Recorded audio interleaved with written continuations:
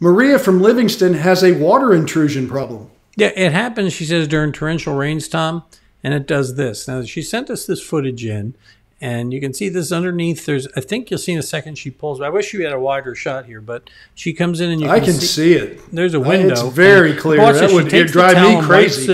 it- She takes the towel, wipes it away. It comes right back in again. This is a Yeah. lot of water.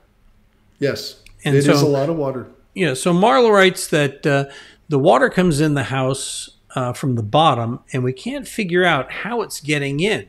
We have put it in all kinds of drains around the house to keep the water away from the house, but nothing works. The house is on a slope, and the bottom floor would be considered a basement, although completely finished.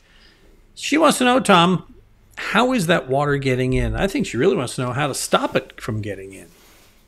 No, there's no doubt. And there's a couple of things in this question because I don't know what's going on on the outside, but maybe we couldn't see.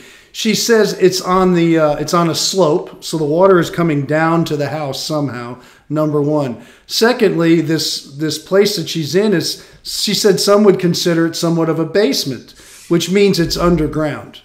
Uh, and I've always said this, Charlie, that you can't turn a house over and it'll float. You can't make a boat out of a house.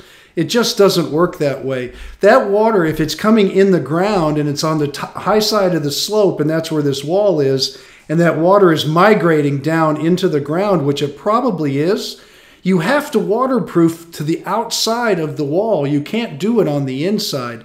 And it looks like the house is well taken care of. The paint looks good, the floor is beautiful, uh, the color combination's nice, but this is a very aggravating problem. And unfortunately, one of the things people will, will send us are pictures of the actual inside of the problem.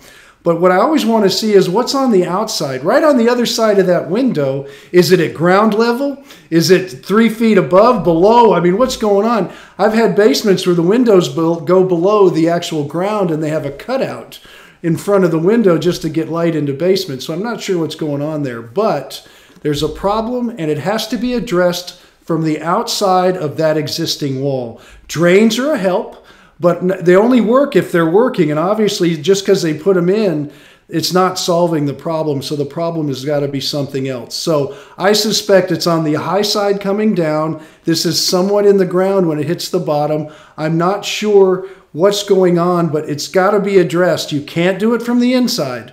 You have to go to the outside. And if that means, and Charlie, I know you've lived in northern climates where they've had to dig, and I've seen them do projects, take a backhoe and dig around the basement, waterproof the basement on older homes, and then refill with granite and do all kinds of things to get the water to run out. And mm-hmm. people up in the northeast and northern climates have probably been through this with older homes several times or seen neighbors go through it. It's the only way to address it on the outside. The other answer, which is a real problem, and I know you've seen this, are sump pumps in people's basements where they just give up, put a pump in there, let the water come in, catch it, and pump it out as it comes in.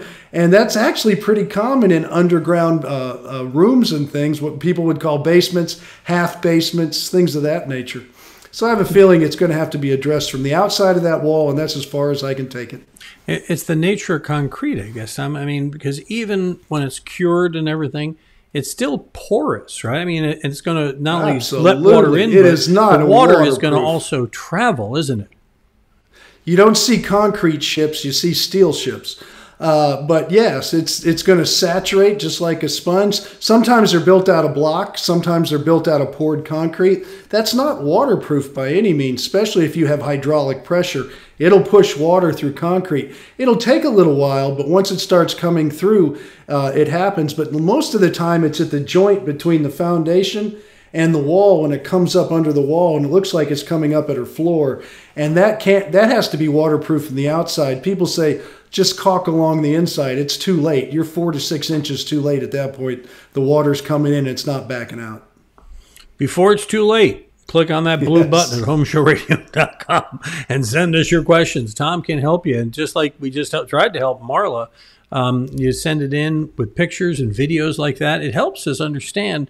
And like Tom said, if you're going to do that, make sure you give us, you know, we had somebody last week who sent us a wide shot and a close up shot. That's great because it gives us more clues to, to help you. And that's what Tom, that's why Tom's here. He's a retired home builder with a degree in architecture ready to help you. And we'll post your video, the answer to your question at homeshowradio.com. uh, on our Facebook page and uh, our YouTube channel.